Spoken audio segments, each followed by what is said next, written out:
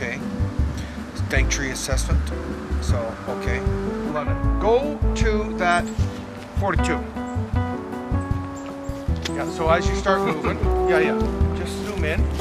There's five dikes in the city of London that are requiring maintenance at this time due to hazardous trees. There's this dike here, the Broughdale Dike.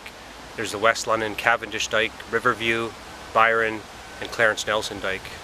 The issue with the dikes in London are they're due for maintenance. They were built some 50 years ago and since that time a lot of the trees and other vegetation has not been maintained. Some of the trees are now very large and pose a potential hazard to the dike. If they do happen to, to fall over, the, the root system will pull a lot of material away from the dike, leaving them susceptible to floods and in turn could potentially damage property or threaten life in the City of London.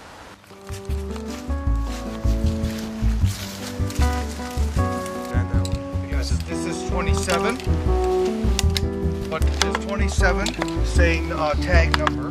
966. So Brandon and or whoever is calling this contractor tree because of the wires.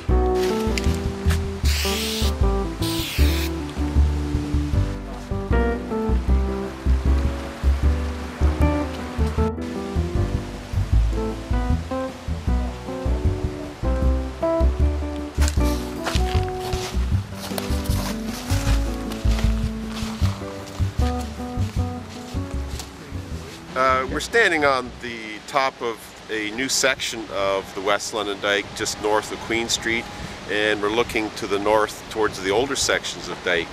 Um, gradually uh, over time uh, for the West London Dyke as we rebuild it, it will be built a little bit higher. We're adding some freeboard to it.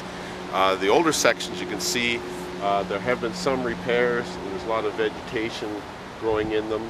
Um, so a lot of the repair work for the West London Dyke is certainly to maintain it until we get to uh, more significant rehabilitation.